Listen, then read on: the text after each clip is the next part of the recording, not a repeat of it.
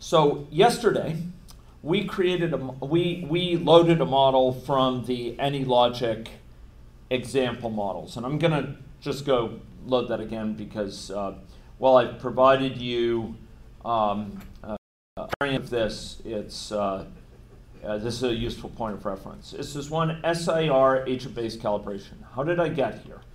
I went to help, example models, and whoa, okay. Um, and uh, I, I, scrolled down and I went to SIR agent-based cal calibration here. Okay. Now, this model, you may remember because we interacted it yesterday with it yesterday in one regard. It was this Monte Carlo 2D histogram. We use this to run sensitivity analyses and to see the effects of stochastics. What I'm actually going to look at today is this calibration experiment here, which is an optimization experiment in AnyLogic. Um, it's one of these types of experiments that you can add. And you will find online um, uh, videos of me, quite a large number of videos, some in two different sessions, where I'm covering both the concepts and how to implement um, calibration in AnyLogic. Today, I'm going to uh, focus on just the highest level concepts and the highest level understanding of, of what it offers within AnyLogic and the interface to it with any, logic. But basically, it's an optimization experiment that I used. Okay? Here we go calibration. So, we're going to run this experiment and, um, and use it to, to just point out a couple features. Okay? So, ladies and gentlemen, calibration involves tuning model parameters. So, you may remember I, I mentioned this yesterday in its essentials, and I'm only going to fill in those essentials again. Um, we are interested here in, uh, in, uh, in setting our assumptions for exogenous parameters. Okay, our assumptions involving exogenous parameters. And those exogenous parameters will affect the model, which is running with endogenous factors. Um, and these parameters are broadly estimated with one of three processes, okay?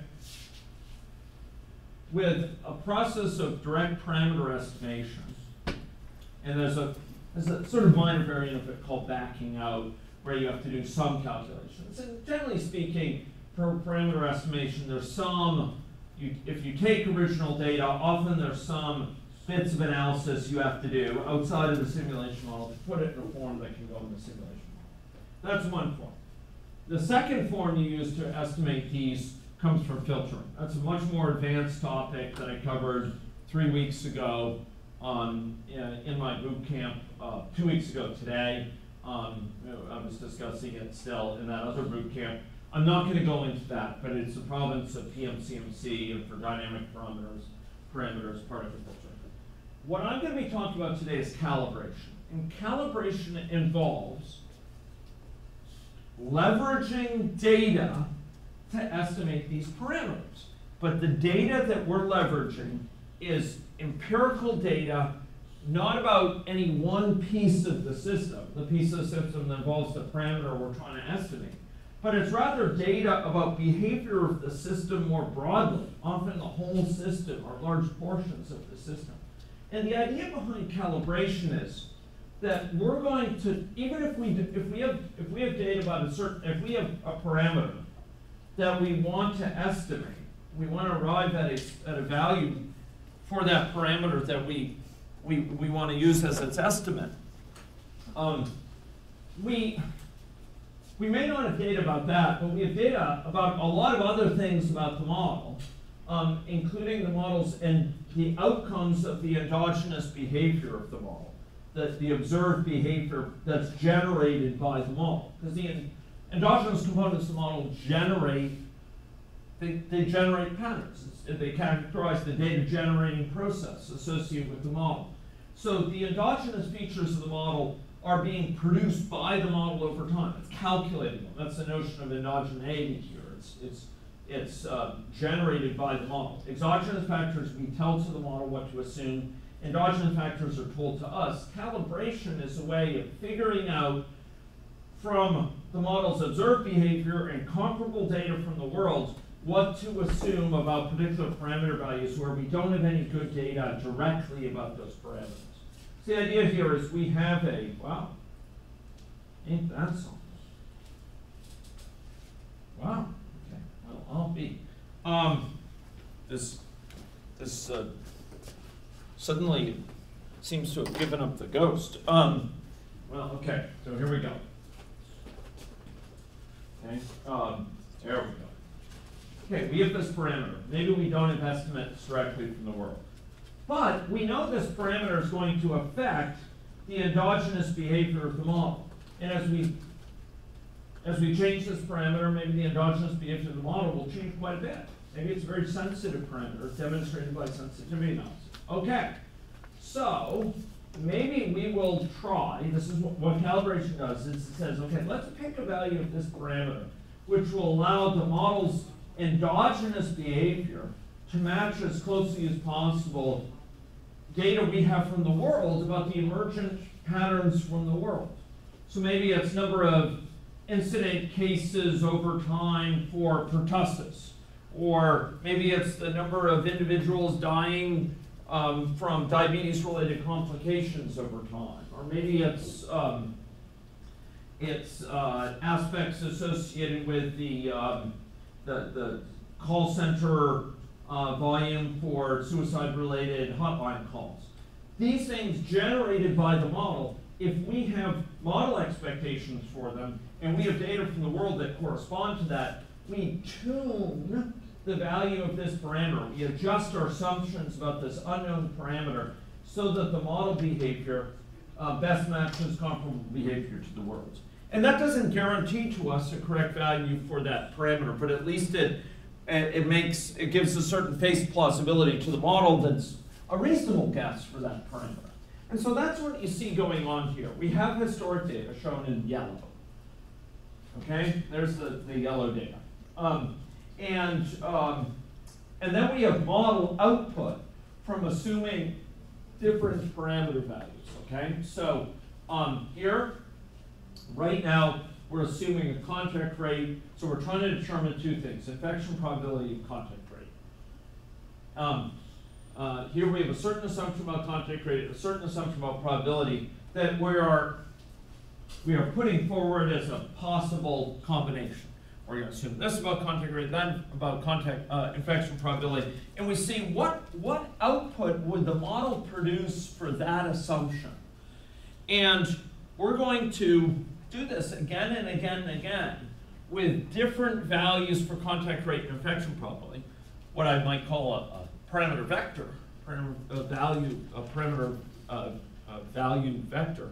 Um, so a, a set of things. We're going to try it for a contact rate 3.079 and infection probability 0.763. We're going to see how well it matches the historic data for that, and then we're going to try it for contact rate, you know, 4.23 and infection probability uh, 0.625, and we'll see how well that matches the empirical data. And we'll keep on trying that, these different assumptions about these two parameters until the model matches as closely as possible this historic data. And once it matches that, we, as closely as possible, if it's a good match, we have some plausibility at least that maybe these two parameters, here two parameters we're trying to estimate, um, maybe we have at least a reasonable guess as to what they might be in the absence of other evidence about those. Maybe we don't have evidence directly about those things, but we have evidence about model behavior as a whole here. Often we have several types of evidence of this sort, and as we're adjusting those possible assumptions about those parameter values, we're seeing how it how it stacks up against all these different types of evidence from the world about the behavior of the system more broadly. The, the endogenous behavior of the system we match against comparable data from the world, and we try to make them as close as possible. And if we end up finding a really good, plausible, you know, a really good match, that data from the world that tells us, okay, that's at least a plausible set of assumptions about those about those two values in the absence of anything more. Okay. Now, often, as I said yesterday, it doesn't match exactly. And and this is where you get to learn something big because you can you, you say, okay, why isn't the model matching it? And you need, you need to learn to walk through that. And uh, I have a set of guidelines for doing that that I'm sharing with you in a set of slides. I'll, I'll be posting them. There's some versions from last year on there. But basically, how to think through when the model isn't matching it, how to work through why it's not matching it, so you can, and, and, and by so doing, mark, match your thinking. So the idea here is, as we're running this, I don't know if you, you see it, for as we're running it, you see this um, jumping around. This blue line is shifting around. It's trying different values, and it's saying, um, you know, oh, okay, how does this match? How does that stack up? How does that stack up? And this red one is the best one yet. It's the best one that's matched that. Um, and in fact, this calibration progress at the top, that's matching how good the best one is so far over successive tries. So it's trying different combinations of these, and it's saying the best one I found thus far, how big a discrepancy is there in a quantitative way from the empirical data? To do this, you're actually specifying a discrepancy metric. You're saying, how do I judge for the model output and for the output from the simulation, how do I judge how far apart they are? That was this difference. We called this, there's a, a function in AnyLogic called difference. It can take two data sets and compare their difference. And this is what's being displayed on this calibration progress graph is, is the difference there, the, it's so-called objective function. And it's trying to find combinations of parameter values that are, are good matches, and over time it finds better ones. It finds better ones yet. And so, oh man, those two were really, in, in retrospect, those weren't that great. This one is a real diamond, you know, I'm gonna, uh, that's the best one, that's the best going one yet. So this red line is showing the best going one. It's kind of the best running estimate for those parameters, how far off the model is from the empirical data.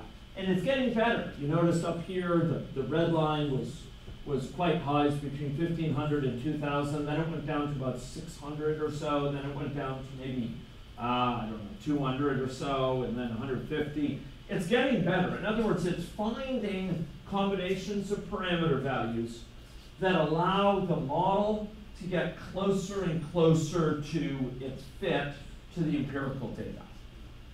And the fact that this red line is going down means it's this is kind of the best yet match it's got, how far off the, the two are. And it's getting closer and closer, so it's less and less far off. And that's getting smaller. And, it, and you notice it makes breakthroughs sometimes. Ah, I've got a better one. Better than all the ones yet. These, these little gray dots those indicate various attempts. And you see there's many misfires, right? Like, even after it found this lowest one that started about time 70 through 100, 145 or something, it was trying lots of other possible combinations of parameters that were a lot less good. They were they had much bigger discrepancies or somewhat bigger. So it didn't choose any of them as the best one yet. But then finally around time, I don't know, 145, it found something even better. And it lowered it yet further, the discrepancy. It said, ah, I've got a better running guess, a better working hypothesis. And that's the one shown in this, um, uh, the, the, in the red on the, the yellow over here under best. 4.6 and 0.131 is the best one yet. Now, I oversimplified a bit because there's a fly in the ointment here that some of you might have noticed. Um, it's possible you will have noticed um, something a little bit peculiar here. Ladies and gentlemen, this model is an agent-based model. And when we are in the sphere of agent-based models like this, we have to deal with what sort of phenomena? Anything? Stochastics. So each of these runs is affected by these parameter values. But with the same parameter values, the same exact parameter values, if you run it again and again and again with different random number seeds, you will get slightly different results. And so, you know, we're fooling ourselves a bit. If we say just one run, we can determine how good a match it is. How, how good a match it is, how, how, what the discrepancy is from the empirical data. We'll be fooling ourselves if just from one run with a certain pair of parameter values, we can say, this is a great set of parameter values. Um, someone could recently ask, how do you know? You only ran it once. How do you know it just wasn't a lucky fluke? You know, lucky strike, lucky draw. Um, you just you just happened through the vagaries of stochastics to hit it right on the nose. But maybe if you ran again with those two parameter values, you'd be far off. Maybe you're fooling yourself. Maybe it's not the parameter values you got. Maybe it was just you were lucky with stochastic. Fair question. Reasonable question, ladies and gentlemen. So what do we what do we do about that? Well, you notice it's down to, to objective 79. How much is that polluted by the, the vagaries, the fluke of, of what we happen to get? Well, what we do to deal with that, we put into place here um, something called replication. And in fact, that's what's going on here. We're actually running, each time we run the model, when I told you I was running it with those parameter values and seeing the objective, I was oversimplifying. It's actually running it five times. Here, why do I say five? We said, yes, we want to use replications. Those of us who are more mathematically inclined, would tend to call this realization. We're running an ensemble of realizations for each, for a given parameter vector. You know, uh, uh, uh, contact rate equals this, and infection probability equals that.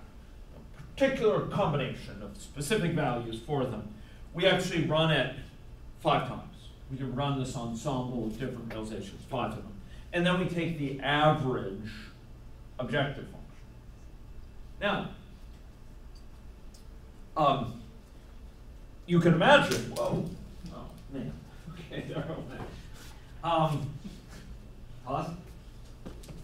Um, uh, so we take the average vector, and you could, you can reasonably say, how do we know five is enough? And in fact, we can AnyLogic has a criteria, which is described to you in my slides, which basically says, hey, you can actually choose how many replications to have a certain level of statistical confidence in the standard, in the mean, um, the sample mean of the results based on the observed variability you see between runs. If you, if you see very little variability between the runs, maybe you don't have to run many replications. These different realizations are giving very similar results. Maybe you don't have to run many, but if you, if you um, have, you see a lot of variability, maybe you need to run many. And so there's this criteria here, and I actually derive what the, the relationship is. And, and and you can set a minimum and a maximum so you don't go to town with you know, hundreds of replications, but neither do you ever run fewer than 10 or whatever. And, um, and this, this gives you some statistical confidence that you arrive at a good calibration value. Now, um, I could speak for hours, and on the internet you will find me videos of me speaking for hours about this, but not between you and lunch. Um, And I will tell you, moreover, that um, that uh, there's a lot of of practical sides to this um, in terms of setting up calibration experiments and and using appropriate metrics for discrepancy and so on, which are talked about in my slides.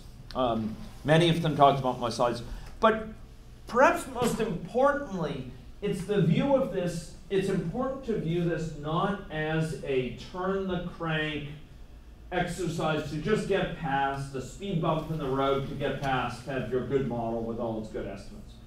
This is your chance to understand why the model can and cannot make sense of certain evidence from your world. When you run into problems with calibration, it, there's lessons to be learned about model dynamics and about what the model can and cannot account for, etc., um, that are very valuable. and it's worth it's worth grappling with it, not in an impatient way to get finished, but so much as because this is the nexus of a lot of learning.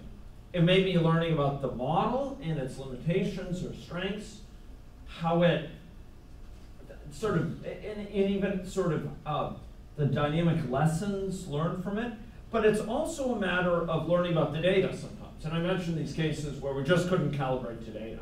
We could not match it well, and we went back tail between our legs only to be told, you know, about problems in the data that we didn't know about, or the people talking to us about had, well, certainly they had never mentioned them until we brought it up, or people didn't know about them at all until they looked into it. And so it, this is part of, again, model, the modeling process as a learning, as, as valuable as a learning tool. Sometimes it builds up institutional knowledge about the, the limitations of our data, of our evidence, and, and points out to us where our, our vaunted evidence is misplaced, or, or you know, our, our sense of uh, extreme confidence in certain types of evidence may be misplaced. I will also note that amongst us, sitting in the back row with a fedora adorning her head is the queen of calibration, none other than Chin Yang. Um, so, uh, uh, the, you're the queen of calibration, and hence she wears a crown befitting her, um, with a tiara around it. Um, sorry? Fedora, yes. Um, so, um,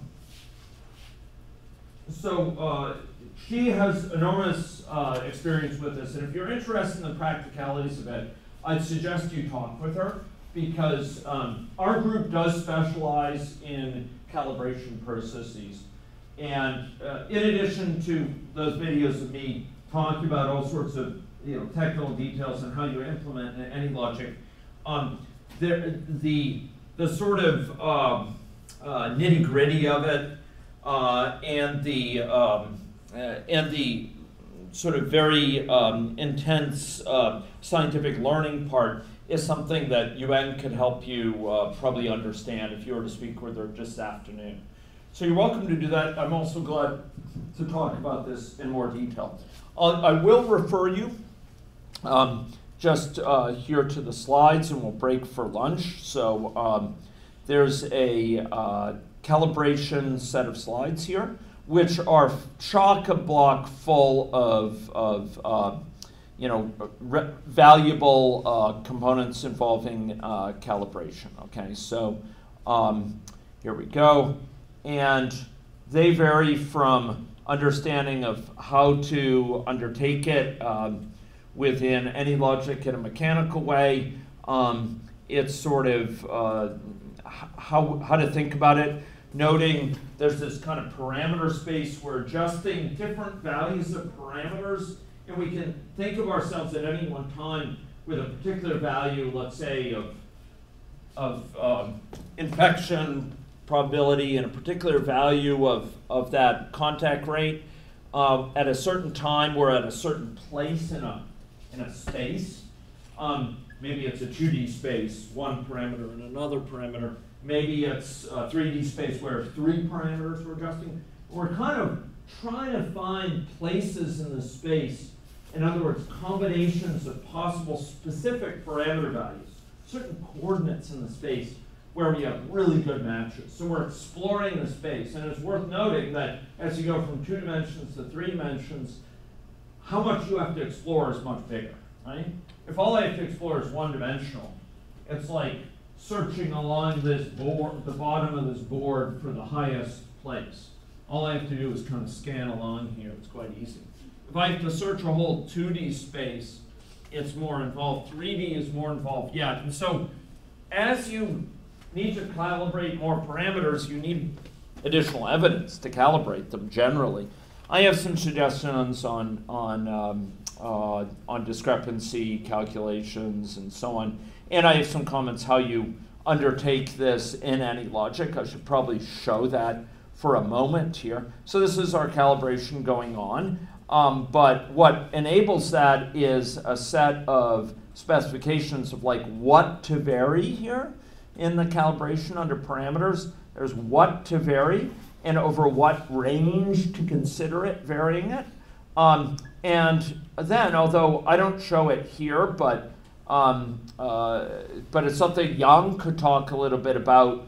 We can further say essentially, hey, don't allow any cases where parameter A and parameter B sum to more than one. Maybe we're tuning A and B, but we never want them to be greater than one.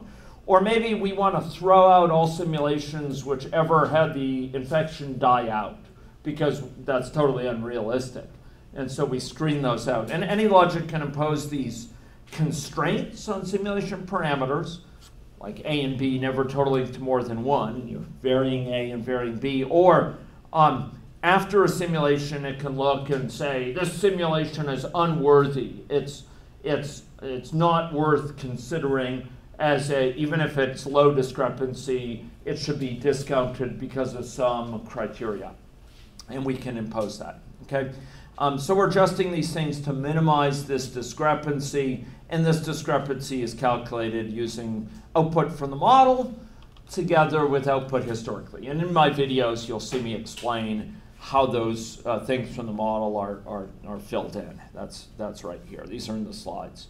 Uh, impacts of stochastics, and I talk about uh, uh, the relationship um, between different uh, quantities here and how you implement it. This is the statistical notes on those criteria and these throttling of the number of replications here um, in order to achieve a level of statistical uh, confidence. Um, and then I, I deal with these calibration problems, but really these are calibration learning opportunities. Um, how to how to learn from a, a, calibration that's not working well, how to turn that into a learning success, um, and, and how to deal with, um, with ways of, of getting it better yet. Okay, um, lots of lots of evidence um, or lots of things to think about uh, gathered over many years. So those are some quick comments on calibration. Calibration is an extraordinarily powerful tool in the arsenal of, uh, of dynamic modeling. It is one of the ways that we make use of the often rather large amounts of data that we have on areas of the model that are um, that, that relate to model outcomes, and therefore we can't use it to estimate a parameter because they tangle together all sorts of things. Um, Jason camera. Um, they tangle together a lot of different factors. We can't, there's often a lot of data like on model outcomes or on, simu, on system outcomes that we can't use to estimate any one parameter because it results from a tangling of lots and lots of other parameters, lots and lots of model states. But this calibration is one way we can use observed evidence that's emergent patterns from the world, whether it's things over time or particular data points measured at at just one time, or whether it's certain things like men have higher rates of, of this condition than women, uh, or there's more asymptomatic women than men for this condition. We can use those outcomes, um, we can use those facts from the world to judge um, discrepancies with model outcomes and find estimates for our parameters that were less well evidenced um, such that they best match those um, that evidence from the world, whether it's more uh, uh, more high level, like rates among women are higher than those of men, or whether it's uh, very specific time series. Calibration is very important, very valuable, and um, it's kind of a poor man's uh, version, a poor person's version compared to uh, uh, what we can get out of filtering techniques more, more generally, um, and particularly particle CFC. Okay. So that's all we have time for right now. We'll break for lunch uh, for an hour. And after lunch, we'll break into groups. I'll be going around as I did yesterday, amongst a bunch of different groups. Hope to visit all. And then at some point, uh, probably around uh, 4 o'clock, we will, 4, 4.30, we will reconvene. We will uh, go through the community site and we will talk about trade-offs between different software packages for this sort of modeling and we will talk about resources for further uh, further work and um, uh, close up the formal lecture components of the boot camp, recognizing that I will be here bright and early tomorrow morning, and I hope many of you will be as well for further project work to, to help bring some of these projects um, uh, home. Okay? So I'll look forward to, uh, to joining you in your small groups after lunch.